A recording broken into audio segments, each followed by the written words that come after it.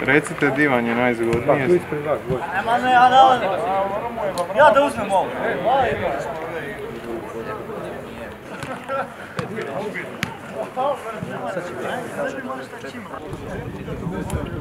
Sve sam stavio onaj dio u komadu.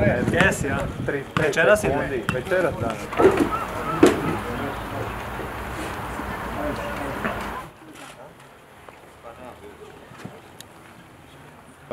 Izbornić, evo, konačno imate na okupu ono što ste čekali veliku većinu reprezentativaca, zapravo evo, danas počinju one prave pripreme. Evo, danas smo se uglavnom kompletirali, svi stili koji su trebali doći, mislim da su to u redu.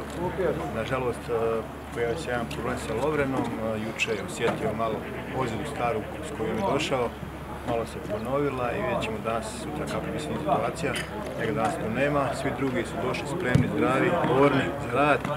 Evo krećemo danas malo ozbiljnijim radom, vjerujem će biti to sve, sve dobro, već je brzo prva utakmica. Znam da su dečki imali tešku sezonu, napornu, da im nije lako, ali moramo prvo se malo refreshat, pa onda krenuti sa pravim radom, jer pred nama je puno, puno posla. Ovako na prvu, koliko vam se čini, što kaže Dejan oko te ozljede, je li nešto zbiljno? Morat ćemo, morat ćemo to malo bolje pogledati, morat ćemo to malo vidjeti, ali ja se nadam da će to sve dobro, da moramo biti optimisti, ali, ali moramo biti oprezni. Zlatko, pa gledamo čem se radi konkretno?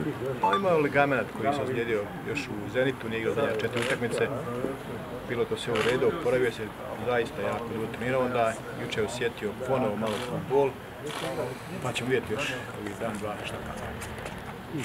Auremović teško.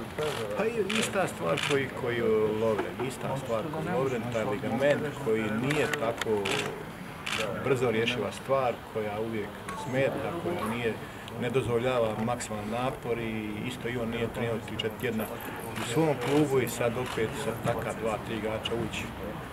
Meni je to rizik, ja moram donositi odluke, meni je žao toga, ali evo, nažalost moramo sve pobijati za koji dan.